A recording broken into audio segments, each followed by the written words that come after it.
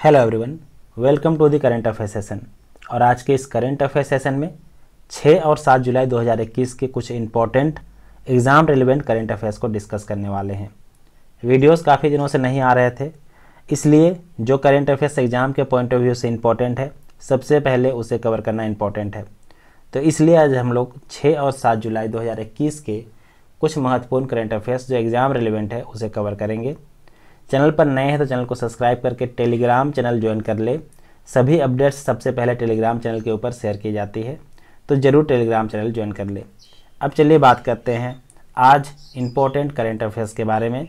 आज का सबसे पहला क्वेश्चन है, भारत की सबसे बड़ी मूल्यवान सार्वजनिक ऋणदाता कंपनी कैसी कंपनी? तो सार्वजनिक क्षेत्र की मतलब कि पीएसयू सेक्टर की सबसे बड़ी ऋणदाता कंपनी जो ऋण देने का काम करती है, वो कौन है? ऑब्वियस है, ये एक बैंक ही होगा जो ऋण देने का काम करेगा। ऑप्शन से state bank of India Indian overseas bank bank of Baroda या पंजाब नेशनल बैंक तो सबसे बड़ी जो है, ऋण देने वाली मूल्यवान सार्वजनिक क्षेत्र की कंपनी बन गई है, वो बन गई है ओवरसीज़ बैंक कौन? तो ओवरसीज़ बैंक बात करते हैं इसके बारे में थोड़ा सा डिटेल में। तो देखिए, जो इंडियन ओवरसीज़ बैंक है, ये भारत की सबसे बड़ी मूल्यवान सार्वजनिक ऋणदाता कंपनी बन गई है। जिसका एम कैप ध्यान पे ध्यान दें एम कैप एम कैप का मतलब होता है मार्केट कैप मतलब मार्केट में इसकी कितनी पूंजी छोड़ी हुई है, ठीक है? टोटल इसका कितना वैल्यू है, ठीक है? तो जो आपका इंडियन ओवरसीज़ बैंक है, इसका मार्केट वैल्यू अभी है इक्यावन हज़ार आठ सौ करोड़ रुपए। पिछले वर्ष की तुलना में इसका जो मार्केट कैप है एम कैप है, उसमें लगभग संतावन प्रतिशत की वृद्धि दर्ज की गई है तो काफ़ी बड़ी वृद्धि है। बात करते हैं आगे। तो इंडियन ओवरसीज़ बैंक के बाद कौन सी बैंक है? तो पंजाब नेशनल बैंक दूसरे नंबर पे और इसके बाद बैंक ऑफ़ बड़ौदा जो है, वो तीसरे नंबर पे है। इंडियन ओवरसीज़ बैंक की बात करते हैं तो इसकी स्थापना हुई थी 10 फरवरी उन्नीस सौ सैंतीस को और इसका मुख्यालय चेन्नई में है। ध्यान दें, इसका मुख्यालय मुंबई में नहीं है या दिल्ली में नहीं है, इसका मुख्यालय है चेन्नई में। इंडियन ओवरसीज़ बैंक के सीईओ अभी कौन है? तो पार्थ प्रीतम है। तो इसका अगर आपका क्वेश्चन आता है सीईओ कौन है? तो पार्थ प्रीतम इसका राइट आंसर हो जाएगा। आगे बात करते हैं अब अगले क्वेश्चन के ऊपर। अगला क्वेश्चन है डिजिटल बैंकिंग को सशक्त बनाने के लिए एक्सिस बैंक ने किस कंपनी के साथ समझौता किया है? ऑप्शन है Microsoft Facebook Amazon web services या व्हाट्सएप तो इसका राइट आंसर हो जाएगा, जो एक्सिस बैंक है, इसने किसके साथ? तो Amazon web services Amazon web services Amazon का ही एक कंपनी है। उसी के साथ समझौता किया है। बात करते हैं इसके बारे में डिटेल में। तो देखिए डिजिटल बैंकिंग सेवाओं को सशक्त बनाने के लिए मतलब कि मज़बूत बनाने के लिए जो है एक्सिस बैंक ने अमेज़ोन वेब सर्विसेज़ के साथ समझौता किया है। इससे क्या होगा? तो बैंक खाता काफ़ी तेज़ी से खोलने के लिए टेक्नोलॉजी विकसित करेगा। कौन? तो अमेज़ोन वेब सर्विसेज़ और इसमें जो है छः मिनट में एक खाता खोला जा पाएगा, जिससे जो है काफ़ी स्पीड से जो है नए नए खाते खोलने में एक्सिस बैंक को मदद मिलेगी। अमेजोन वेब सर्विसेज़ अमेजोन नामक कंपनी जो है, जो मेनली जो है ई कॉमर्स क्षेत्र में अपना व्यवसाय करता है, उसी का एक उपक्रम है, एक सब्सिडरी कंपनी है। ध्यान दें, एक्सिस बैंक के जो सीईओ है, अभी हैं अमिताभ चौधरी। और अमेजोन के सीईओ कौन थे? तो जेफ बेजोस थे। लेकिन उन्होंने क्या किया? इस्तीफा दे दिया, ठीक है? और उसके बाद जेंडी जेसी, ठीक है? कौन? तो एनडी जेसी। किसे? तो एनडी जेसी को जो है, इसका सीईओ नया बनाया गया है। आगे बात करते हैं हम आगे। अगले क्वेश्चन के ऊपर। अगला क्वेश्चन है, भारतीय सेना प्रमुख मनोज मुकुंद नरवाने ने किस देश में भारतीय सैनिकों के युद्ध स्मारक का उद्घाटन किया है? ऑप्शन से, इंग्लैंड, इटली पेरिस या जर्मनी। तो इसका राइट आंसर हो जाएगा, जो भारतीय सेना प्रमुख हैं मनोज मुकुंद नरवाने ये जो हैं, हाल ही में दो देशों की यात्रा पर गए थे, इंग्लैंड और इटली। किन दो देशों की? तो इंग्लैंड और इटली की यात्रा में गए थे। और इन्होंने जो है, युद्ध स्मारक का जो उद्घाटन किया है, वो किया है इटली में। तो ध्यान देंगे, इसका राइट आंसर हो जाएगा इटली। बात करते हैं इसके बारे में डिटेल में। तो जो भारतीय सेना के अध्यक्ष हैं, मनोज मुकुंद नरवाने इन्होंने जो है यूके मतलब कि इंग्लैंड और इटली की यात्रा के दौरान, इटली के कैसिनो शहर में, किस शहर में? तो इटली के कैसिनो शहर में जो है, भारतीय सैनिकों के युद्ध स्मारक का उद्घाटन किया है। ध्यान देंगे, द्वितीय विश्व युद्ध के समय जो है 1943 और 45 के बीच जो है, इंग्लैंड में और इसके साथ ही साथ इटली में बहुत सारे जो है, भारतीय सैनिक गए थे लड़ने के लिए इंग्लैंड की तरफ़ से और इसके साथ ही साथ इटली में, ठीक है? तो यहाँ पर जो है पाँच हज़ार सैनिक जो है शहीद हो गए थे। इटली में फांसीवादी ताकतों के खिलाफ लड़ते हुए, ठीक है? फांसीवादी ताकतों के खिलाफ लड़ते हुए। और आपको पता होगा, जर्मनी में जैसे नाजीवाद था, ठीक है? वैसे ही इंग्लैंड में एक और शक्ति काम कर रही थी, और उस शक्ति का नाम है फांसीवादी, ठीक है ना? और फांसीवादी ताकत जो था, वो किसके नेतृत्व में काम कर रहा था तो? बेनितो मुसोलिनी, ठीक है?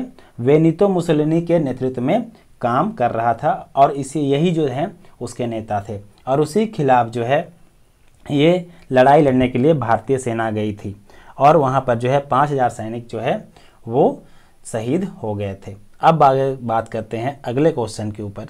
अगला क्वेश्चन है, भारतीय मूल की सिरिसा बांदला। कौन? तो भारतीय मूल की जो है, सिरिसा बांदला है, ये एक अंतरिक्ष यात्री हैं, ठीक है? इन्होंने किस कंपनी की रॉकेट के साथ यह यात्रा की? ऑप्शन से नासा स्पेस एक्स वर्जिन या ब्लू ओरिजिन। तो इसका राइट आंसर हो जाएगा वर्जिन, ठीक है? वर्जिन कंपनी के साथ इन्होंने जो है एक अंतरिक्ष यात्रा की और ये जो है, अब भारत की तीसरी ऐसी महिला बन गई हैं भारतीय मूल की जिन्होंने अंतरिक्ष की यात्रा की है। इससे पहले कल्पना चावला और सुनीता विलियम्स भी जो है अंतरिक्ष की यात्रा कर चुकी हैं।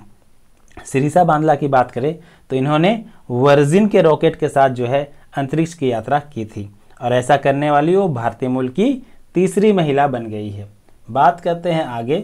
तो देखिए थोड़ा सा ये बात कर लेते हैं ब्लू ओरिजिन के बारे में। तो ब्लू ओरिजिन से हाल ही में अमेजोन ठीक है अमेजोन के जो सीईओ थे जेफ बेजोस, इन्होंने भी अंतरिक्ष की यात्रा की थी, ठीक है? ए, स्पेस एक्स की बात करें, स्पेस एक्स तो ये एलोन मस्क की कंपनी है। टेस्ला आप लोगों ने सुना होगा। टेस्ला भी एलोन मक्स की कंपनी है। और जो स्पेस एक्स है, इसका है फाल्कन रॉकेट ठीक है?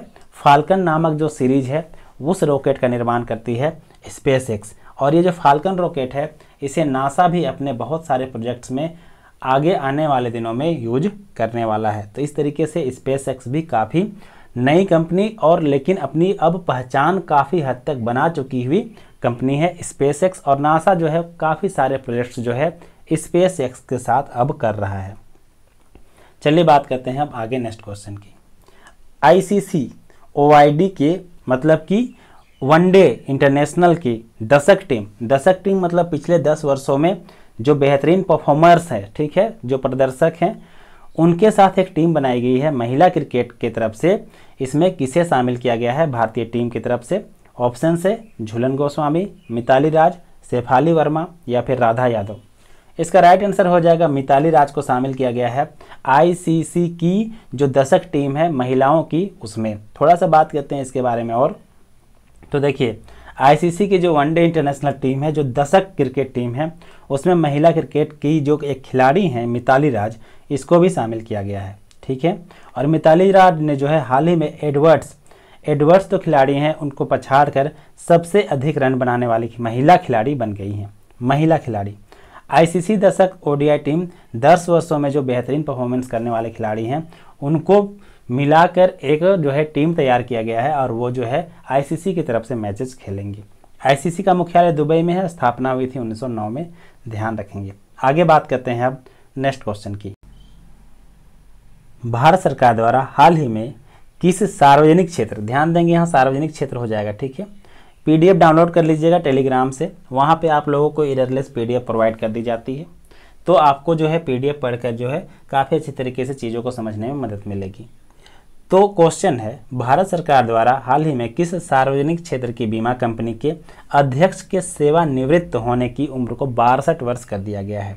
ऑप्शन से भारतीय जीवन बीमा निगम general insurance corporation of India oriental insurance of India या फिर I R D A I R D A ठीक है?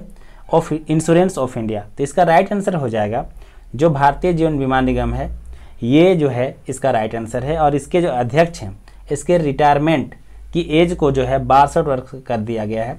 बात करते हैं थोड़ा सा इसके बारे में डिटेल में। तो भारत सरकार ने LIC के अध्यक्ष की सेवानिवृत्त होने की जो डेट है, उसको बासठ वर्ष कर दी है। उसकी जो उम्र सीमा है, वो बासठ वर्ष कर दी है। सरकार द्वारा भारतीय जीवन बीमा निगम के जो निगम स्टाफ विनिमय, निगम स्टाफ विनिमय 1960 के जो नियम हैं, उसमें जो है परिवर्तन किया है और जो है उम्र सीमा रिटायरमेंट की बासठ वर्ष कर दी है। इसका प्रमुख कारण समझते हैं। तो इसका प्रमुख कारण क्या है? तो एलआईसी के में जो है 10 परसेंट शेयरों का विनिवेश करना है, आप लोगों को पता होगा। ठीक है? और ये जो 10 परसेंट शेयर के विनिवेश है, इसकी जो भार है मतलब कि जो काम करने की ज़िम्मेदारी है, वो दिया गया है एम आर कुमार को। ठीक है, किसको? एम आर कुमार को, और एम आर कुमार ही अभी एलआईसी के अध्यक्ष हैं। तो अगर ये जो है रिटायर हो जाते तो सरकार का जो प्लानिंग था, जो इन्होंने एम आर कुमार के साथ बनाया था, उसे पूरा नहीं कर पाते, और इसलिए जो है एम आर कुमार को यहाँ पे रिटायरमेंट की डेट बढ़ाकर अभी तक पद में बनाए रखा गया है। तो इसके पीछे ये रीजन है क्योंकि सरकार कोऑर्डिनेट अभी कर रही है एम आर कुमार के साथ, बाद में कल को कोई और अध्यक्ष आ जाता है तो उसके साथ फिर से जो है मेहनत करके कोऑर्डिनेशन की जाती। इसीलिए जो है एम आर कुमार को अभी अध्यक्ष के पद पर बनाए रखे जाने के लिए जो रिटायरमेंट की एज है, वो बासठ वर्ष कर दी गई है। समझ में आ गया? आगे बात करते हैं अब अगले क्वेश्चन की। अगला क्वेश्चन नहीं है, ठीक है, एक जानकारी है, जैसा कि आप लोगों को पता होगा, आठ राज्यों के गवर्नरों में बदलाव किया गया था, पिछले दिनों और इसके बाद जो है थोड़ा सा लिस्ट देख लेते हैं। थोड़ा रिवीजन भी आप लोगों का हो जाएगा। कर्नाटक के जो नए राज्यपाल बनाए गए हैं, वो हैं थावर चंद गहलोत। मध्य प्रदेश के नए राज्यपाल बनाए गए हैं मंगू भाई छगन भाई पटेल। मिजोरम के जो है हरी बाबू कमतपति, यहाँ पे पति होगा, ठीक है? कमतपति। उसके बाद हिमाचल प्रदेश के राजेंद्र विश्वनाथ अलंकर। गोवा के पी एस श्रीधरन पिल्लई। त्रिपुरा के सत्यदेव नारायण आर्य। और झारखंड के रमेश बैस और हरियाणा के बंगारू दत्तात्रेय। ठीक है, बंगारू दत्तात्रेय जो है राज्यपाल बनाए गए हैं। तो ये लिस्ट इंपॉर्टेंट है, ठीक है? आगे बात करते हैं अब आगे नेक्स्ट क्वेश्चन की। अगला क्वेश्चन है, निपुण भारत कार्यक्रम, भारत सरकार की किस मंत्रालय की योजना है? ऑप्शन से परिवार एवं स्वास्थ्य कल्याण मंत्रालय, शिक्षा मंत्रालय, गृह मंत्रालय या फिर जलवायु परिवर्तन एवं पर्यावरण मंत्रालय। तो इसका राइट आंसर हो जाएगा जो निपुण भारत कार्यक्रम है, इसकी शुरुआत की गई है शिक्षा मंत्रालय के द्वारा।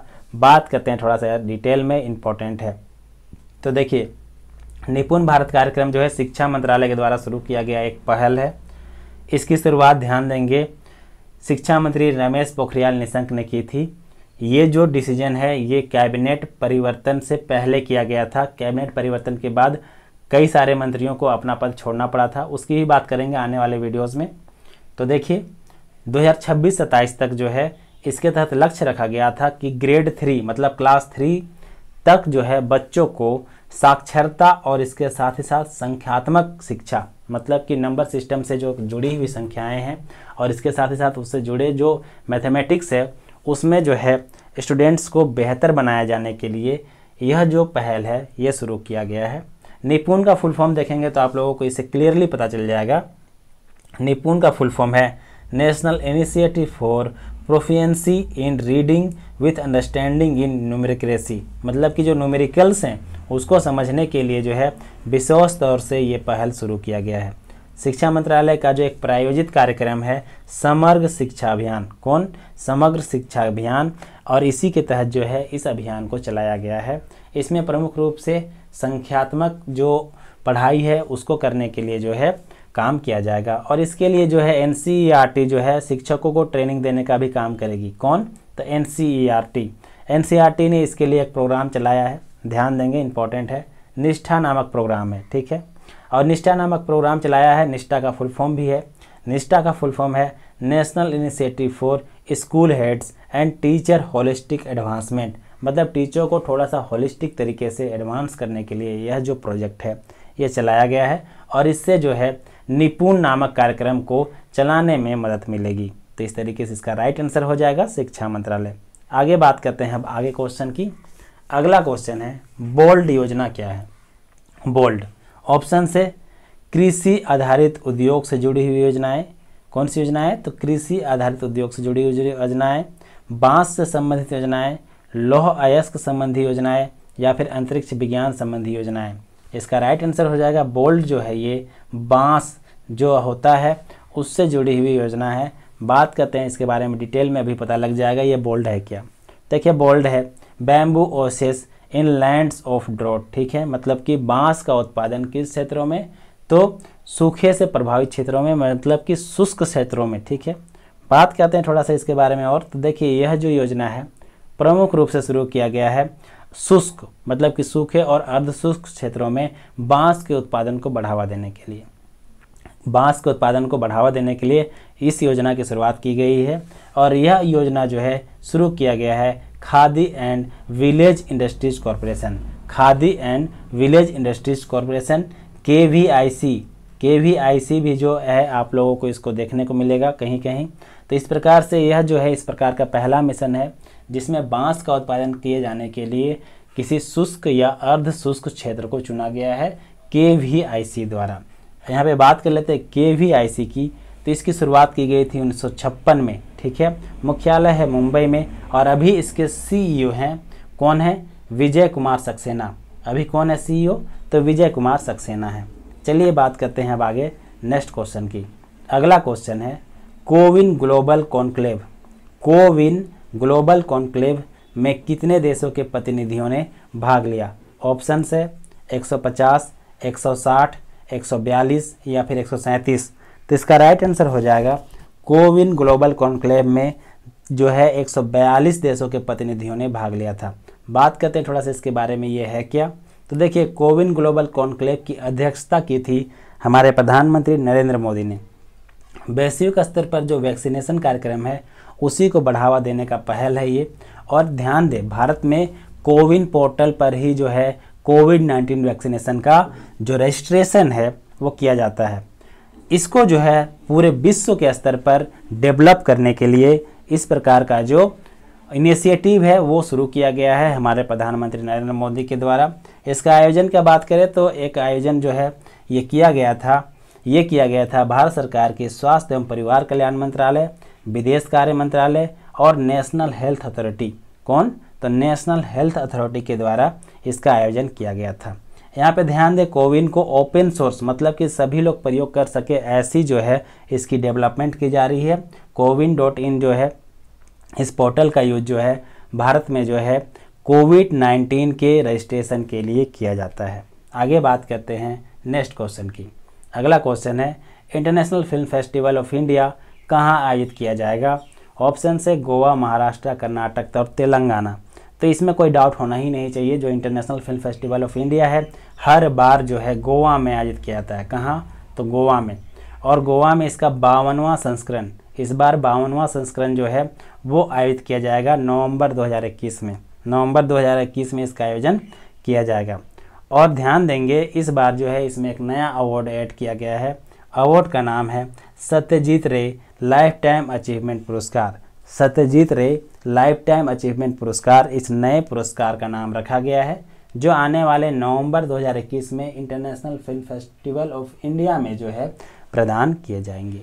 तो ये थे महत्वपूर्ण करेंट अफेयर्स छः और सात जुलाई के। अब आप देखते हैं आज के इम्पोर्टेंट क्वेश्चन की, जो आप लोगों के लिए है। क्वेश्चन है पीसी महालनोबिस के जन्म दिवस पर कौन सा दिवस मनाया जाता है? ऑप्शन है, राष्ट्रीय विज्ञान दिवस, राष्ट्रीय खेल दिवस, राष्ट्रीय सांख्यिकी दिवस या राष्ट्रीय सद्भावना दिवस। तो इसका राइट आंसर हो जाएगा। क्या हो जाएगा? चलिए बताइए कमेंट बॉक्स में। बात करेंगे इसका जो राइट आंसर है उसके बारे में अगले वीडियो में। तब तक के लिए आप सभी लोगों का बहुत बहुत धन्यवाद चैनल से जुड़ने के लिए। वीडियो को अपने दोस्तों के बीच ज़रूर शेयर करें। पीडीएफ डाउनलोड कर ले टेलीग्राम से और रिवीजन करते रहे। धन्यवाद।